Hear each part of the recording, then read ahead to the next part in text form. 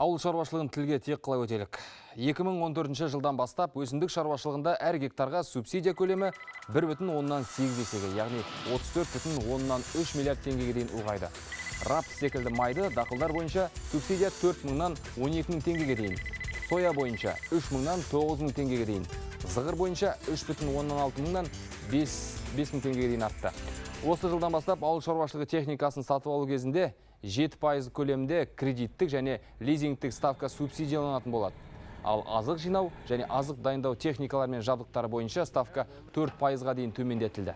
Агробизнес 2020 бағдарламасына сәйкес 2013 жылдың екінші жарты жылдығынан бастап қой шаруашылығы бойынша төлдейтін ұрғашы мал басын субсидиялау басталды.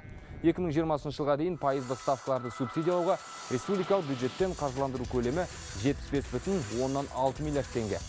2020 жылға дейін 5 ет комбинаты, 2 жеміс көкөніс консервілеу кәсіпорын салынады. 16 сүт өңдеу кәсіпорнын, 27 ет өңдеу кәсіпорнын, 7 жеміс пен көкөністі қайта өңдеу кәсіпорнын, 7 қант зауытын, 7 май тоң май кәсіпорнын, 7 макарон өндіру кәсіпорнын және 21 жарма өндіру кәсіпорнын жаңғырту мен қайта жаңартуды субсидиялау көзделген.